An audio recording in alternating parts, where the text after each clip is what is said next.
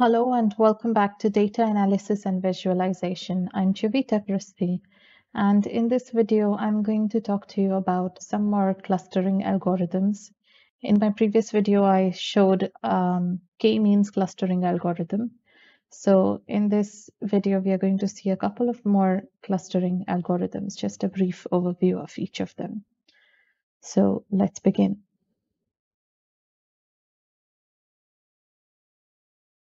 So the first algorithm is the kernel density estimation. If the k-means algorithm doesn't appeal to you, one alternative way to identify clusters in your data is to use a density smoothing function instead. So this is all about density smoothing function where um, the points that you have, uh, they are sort of merged together instead of being separated. Kernel density estimation, which is also called KDE, is just such a smoothing method. It works by placing a kernel, a weighting function that is useful for quantifying density, on each data point in the dataset, and then summing the kernels to generate a kernel density estimate for the overall region. So each data point of your um, of your plotting that you have done, that is summed up together to generate a denser and denser kernel every time um, up to uh, up to a point where you know you are you are left with only um, maybe uh, two or three data points which are your clusters.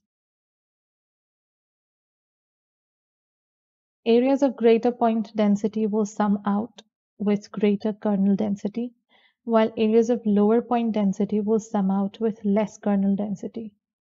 So areas where there are more data points will have a higher density of kernels and areas with a less number of data points will have less kernel density. And because kernel smoothing methods don't rely on cluster center placement and clustering techniques to estimate clusters, they don't exhibit a risk of generating erroneous clusters by placing centers in areas of local minimum density.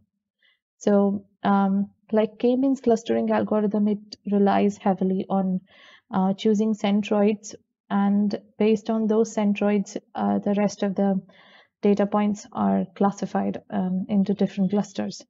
Now, kernel density does not rely on these kinds of um, clusters, which is why it, it works very well in um, in you know producing clusters which are not uh, erroneous clusters um, created by placing centers in areas of local minimum density. Now, k-means algorithms generate hard-lined definitions between points in different clusters, but KDE generates a plot of gradual density change between data points. And for this reason, it's a helpful aid when eyeballing clusters. So it's going to generate a plot of gradual density change between data points. And here is an example. Um, in one of my previous videos, I introduced to you this uh, data set of uh, created by World Bank about uh, income and uh, children with um, primary school education. So percent of income earned by the bottom 10% uh, of the population versus the percentage of children in that country who have completed primary education. So this is the graph of that a scatter plot of that. And this is how kernel density algorithm works. You can see how certain data points are, uh, you know, merged together to generate a denser and denser kernel. And in the end, all you can see is these big, big blobs of, um, of black, which show you data points that are merged together.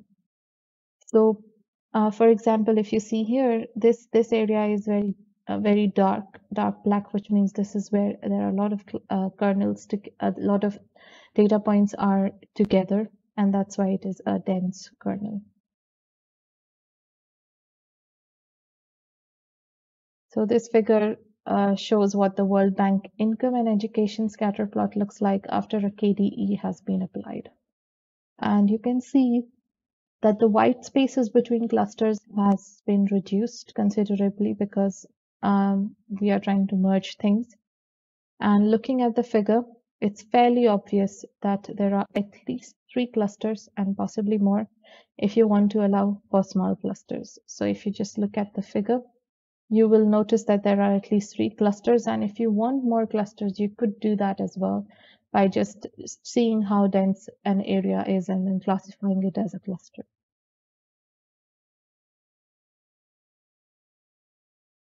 Next, we have hierarchical algorithms for clustering.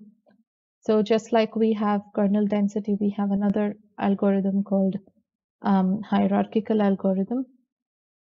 So this is yet another alternative to k-means algorithms, which we saw, and it results in a data set that's called a, dendro uh, a dendrogram. And here the top or the root is the entire data set. And then in each level down, there is a node where the data is split into two sets, usually of unequal sizes. And finally, at the bottom are leaves that each correspond to a single data point. So what you're doing is uh, essentially you're doing almost something like KDE, but in this case, you're sort of creating a type of a tree, which is in this case known as a dendrogram. Uh, the root contains the entire data set the leaves contain all the single data points and then those single data points are merged together to generate a higher level. So that's why it's a hierarchical algorithm. You can use a number of different algorithms to build a dendrogram and the algorithm you choose dictates where and how branching occurs within the clusters. So a dendrogram can be created by many algorithms and based on the algorithm the branching can be decided where the branching should occur and how it should occur. So this is um, this here as you can see is an example of a dendrogram. These leaves are all single data points. Root contains all the data and um, the several nodes are combinations of several data points. So that's a dendrogram.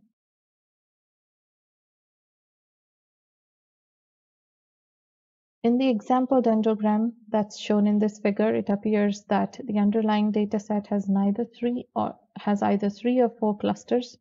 And how could we say that? Because um, it is built in a bottom-up manner, assembling pairs of points together and then agglomerating them into larger and larger groups. So it can be done bottom-up. It can be also done in a top-down manner by starting with the full dataset and then splitting it into smaller and smaller groups. So if you just notice, let's slightly go back here. And uh, if you notice, you can identify three separate clusters right here, or you could divide it into two clusters. It's up to you. So if you wanted to create more clusters, you could create more clusters. If you wanted less clusters, you could do that as well. Okay, let's continue. Hierarchical clustering algorithms are more computationally expensive than k-means algorithms because with each iteration of hierarchical clustering, many points must be compared to many other points. So computationally, they are more um, computationally they are more more uh, expensive in the sense you might need more time. Time wise, it could be expensive if you have a lot of data.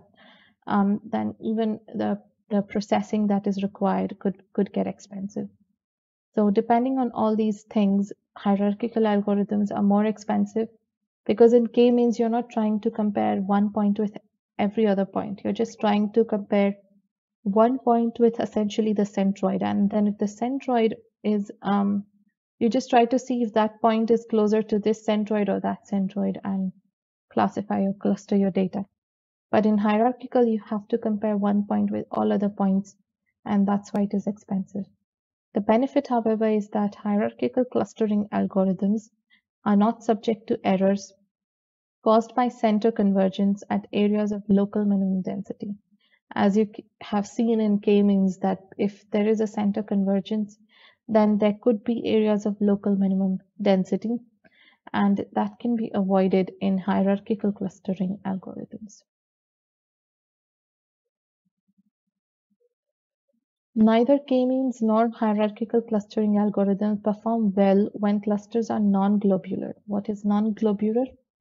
A configuration where some points in a cluster are closer to points in a different cluster than they are to points in the center of their own cluster. So this is known as non-globular clusters, where uh, wherein um, there are points that have to be uh, belonging to a certain cluster and yet they are belonging to a different cluster. They are closer to some other cluster than their own cluster, than the center of their own cluster. And that's why uh, the clustering gets all wrong. So k-means and hierarchical algorithms both will not perform well in case of such a data set. So then what is um, the solution. If your dataset shows such non-globular clustering, then you can use neighborhood clustering algorithms. Uh, one such algorithm is DBSCAN to determine whether each point is closer to its neighbors in the same cluster or whether it is closer to its um, neighboring data points in other clusters. Now this is um, nearest neighbor algorithm is something that I'm going to discuss in one of the future videos. So you'll come to know about that over there.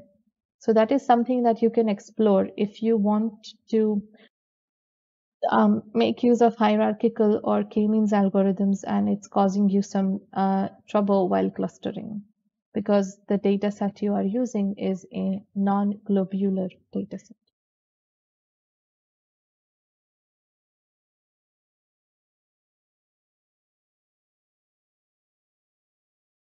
Now this is an example of neighborhood clustering.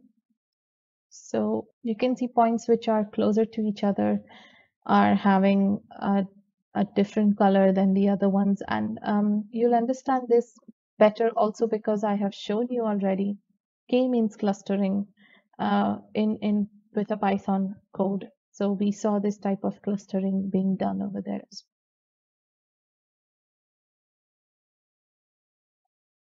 Now, what are neighborhood clustering algorithms? They are very effective, but they are subject to the following two weaknesses. The first weakness is neighborhood clustering can be very computationally expensive because at every iteration of this method, every data point might have to be compared with every other data point in the data set. So you have to, just like hierarchical, you have to compare one data point with another data point and so on. And because of that, they are computationally expensive.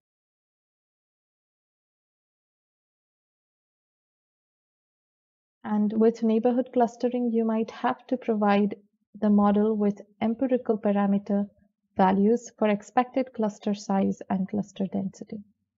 And if you guess either of these parameters incorrectly, the algorithm misidentifies clusters and you have to start the whole long process over again to fix the problem.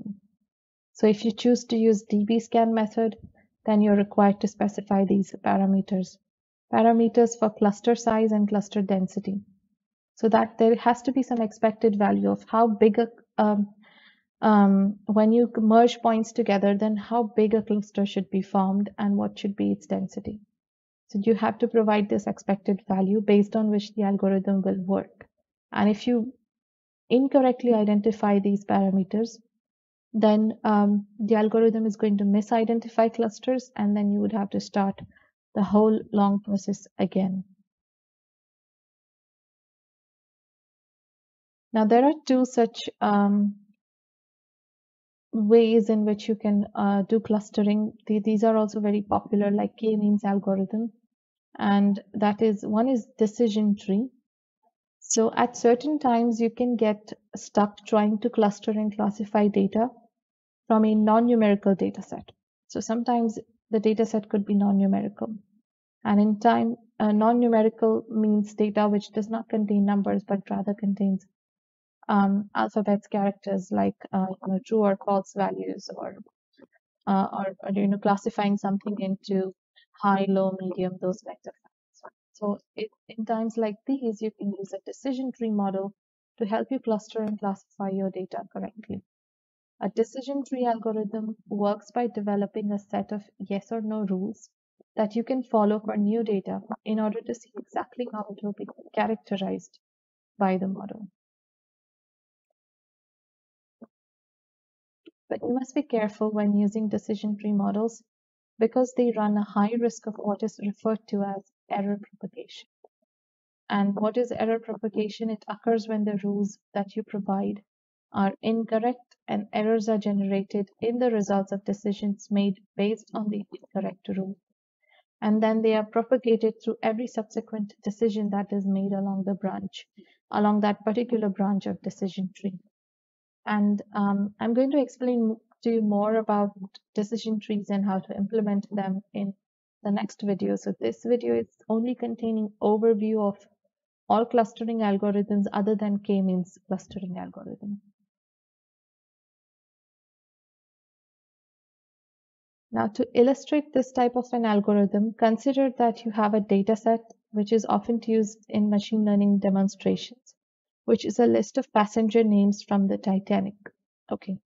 Now using a simple decision tree model, you can predict that, you know, if a person was a female or a male uh, child with a large family or, um, and whether or not he or she survived the catastrophe. So we all know what happened with Titanic, how it got drowned and a lot of people died who were on board. And what we are trying to do is, you know, we have this list of passengers, a list of passenger names, and we want to create a simple decision tree model where you can predict if a person was female or was a male child with a large family, uh, whether or not that person survived or not, based on all these details that you have. So you can see here this these are sort of rules that you are feeding to your decision tree model. So what are those rules? Um, first of all, was the person female? If the person was female, then directly you can assume that the person survived. Now, how? Because I um, I think I, don't exactly remember, but uh, there was some sort of a provision made for females where they were allowed to get onto the lifeboats first. So probably if the person was a female, the person survived. So that's the first rule. The second rule, if the person was male, then there are two things. One is what was the age of the person? Was the age uh, less than or equal to 9 or greater than or equal to 10? If it is less than equal to 9, then you are going to further check this this rule which says, you know, what was the size of family on board, which means how many family members of that person were there on that ship. So if the person is less than or equal to nine, then you're going to check this. Now, if the family on board was greater than or equal to three, um, which means um, other than that person, there were like three other family members or four or five me family members, um, then that person uh, most likely survived. So that's another rule. Then if the person's age person was a male um, greater than 10 years old then that person just uh, died. That's what we are predicting. And also if the person was male um, less than or equal to 9 years old and had less than or equal to two family members on board then also we are predicting that the person died so these are the different parameters available to you and these are the rules that you are uh, basically feeding to your model. And based on that, now you would try to predict and classify or cluster your uh, data. And lastly, we have the random forest algorithm. Uh, they are slower but more powerful alternative. Instead of building a tree from the data, this algorithm creates random trees and then determines which one best classifies the testing data.